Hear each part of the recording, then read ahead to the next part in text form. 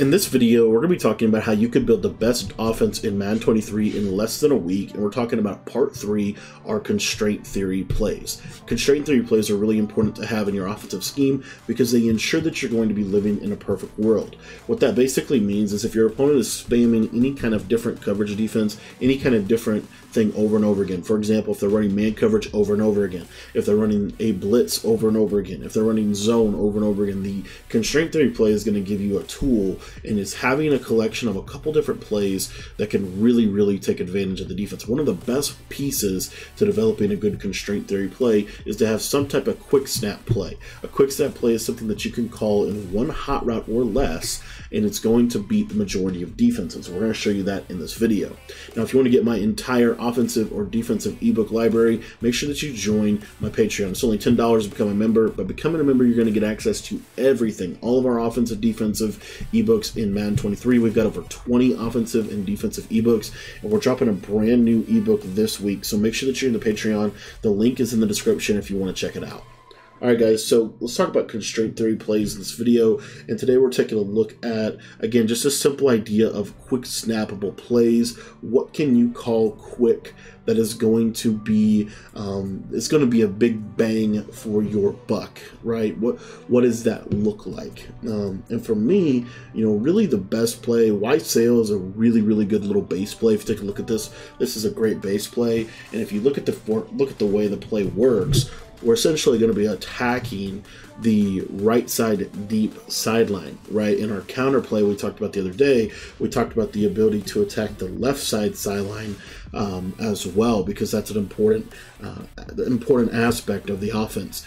And in today's video, what we're going to do is talk about a constraint theory play. What's a play that we can call with one hot route or less, or quick step play that can beat you know some of the spam type defenses that you're going to see. For me, I think that the best play for this is going to be escape. And the reason, the primary reason, is because this play um, is going to be doing a good job of kind of attacking different parts of the field. So with this play escape, what we're going to do fairly simply here is we're just going to take this running back route. This running back route was a lot better last year. You'll see this year if I if I use it, um, he just doesn't really beat man as well as he has in the past. So what I like to do with this is actually really simple. All we're going to do is we're just going to take the running back and we're going to put him on a wheel route. That's literally it. Just put the running back on this quick throw wheel route, and you're going to see here that against man, we can throw a high ball just like that and attack the defense that way. Now, if you don't want to have a wheel route, then my recommendation is to simply put the running back on a block.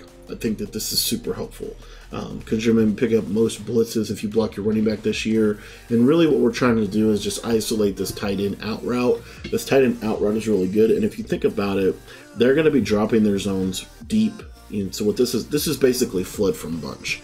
Now, if you want to put the running back on an out route, you can do that at will. So those are a couple different versions of this quick snap play. But again, the basic idea here is how can we snap this super fast and how can this beat the majority of defenses we're going to face? Well, you also see here that this route to Cooper Kupp, it doesn't always beat um, I will say it's a little inconsistent this year, but it is decent. Uh, especially, you'll see right here, if I high ball, just get the ball out there, he can give him a chance. Now, if they're playing cover zero, so let's say that they're dropping let's say they're dropping the safeties out, um, you know, something like this, they're playing that cover zero stuff, then that right there is a little bit more of an opportunity one on one with short and lean. Obviously, I need to get a better route running receiver. I was kind of trying to, you know, save some save some coins on on players, um, but that route right there, if you have a good receiver, it can beat man. It certainly can. Um, if they press you, uh, that can also, you know, this is also really good because you'll see here, again, you get natural rubs within the formation, and you're noticing that out route is just open. Now, I want to talk a little bit about zone coverage. Now, again, every play in your offense, in my opinion, it should be able to beat man, zone, in the blitz and uh, or and match. Should be able to beat all four, but there are certain things like like this play right here is really good against man against zone, if you watch this deep out route, you can kind of fit this out route in to different spots. Now, another cool little hot route, if you do have the hot route master, would be to take this tight end and put him on a corner route, then snap the ball super fast. Why? Because the corner route is going to get to a different part of the field than the Y sail route. The Y sail route is going to get you know super deep down the field. This one's going to hit a little bit quicker. Um, so that's another thing to kind of think about. This in route right here, I feel like is really good um, against man. Again, man is the meta, so we're kind of tailoring, uh, we're kind of tailoring this a little bit more to man or man press. Um, you know, this corner route on the left side, especially if you have a good receiver, a lot of times you're going to get that separation just like that to the sideline. So you've got a lot of options in this against man to man. Now let's talk about some zone. Let's talk about some of the things with zone. Uh, one of the most popular zones in the game this is why I like to wheel route the running back, by the way. You don't have to wheel route the running back, but I do like to, um, especially against zone coverage, because you're going to see here that he's going to almost act like a pull route, and you can kind of fit this into a small little window against cover three, as you can see right there. Um, you can really hit this against cover two. So if they're starting to run a lot of cover two blitzes, this is a really, really good play to call because what you'll see here is this the way this post route runs you can kind of freeform it up into the seam just like that right there. So the post route is really good, uh, and when you pair that with the the corner route to Wilson, I think you just get a lot of a lot of value within this play, as you can see right there. And I think we talked about in our counterplay, you know, the idea of like doing something, you know, basically basically like this, essentially. This concept right here, um, kind of being a really good counterplay, and it is a really good counterplay.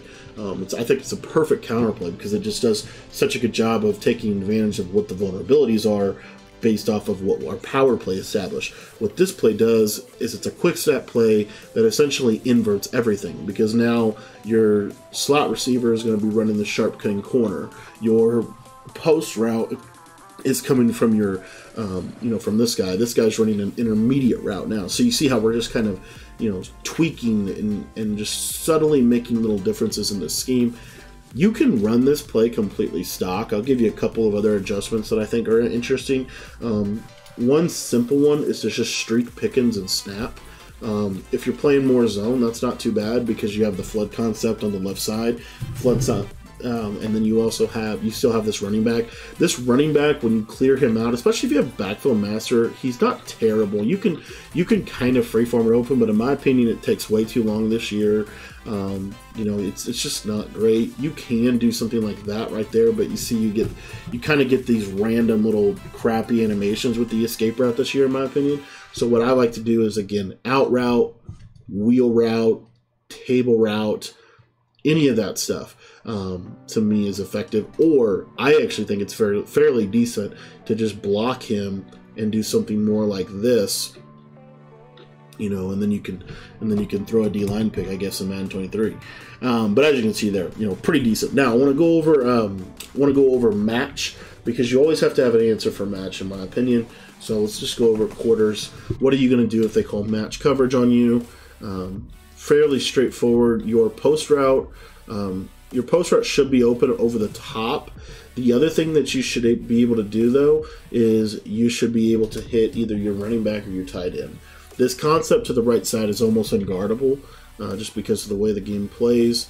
You know, so you see here that out route, even though they're matching it technically, it's still open. You can throw that with a pass lead down and outside. So, you know, you have a lot of opportunity there. The other thing I want to show you is on the left side here. Um, you know, you can hit that in route late. You've got that deep post. I don't know why Darren Waller is running this post route. Let me call timeout and get somebody out there that can actually run routes. Um, but this play, like I said, super simple, super quick, snappable. Uh, red zone scissors is another play that you could use. Um, I don't feel like it's as quick snappable. Basically, with red zone scissors, you would have to essentially um, oh, come on, red zone scissors. Let me show you something. So basically, what you could do in this one is if you just simply put this guy on a C route and snap the ball. What's really good about this one is your running back is now going to run this really nice corner route. So it's just a it's a it's a play off of the seam wheel. Um, every year, a good constraint theory play is this play mesh spot or just using this wheel route to the running back, and then all you're going to do is you're going to do something like this. This right here is a really good constraint theory play. Um, essentially, you've got that little clear out right there against zone, and then you have you know stuff you can check down to over on this side. So those are some ideas of different constraint theory plays that, my opinion, my constraint theory play has to check a couple boxes, has to beat man, has to beat zone, has to beat the blitz, and you could actually have multiple of these plays. You could have three to five constraint theory plays, in my opinion, that are really good against one or two things. For example, a good constraint theory play could be a bomb coverage.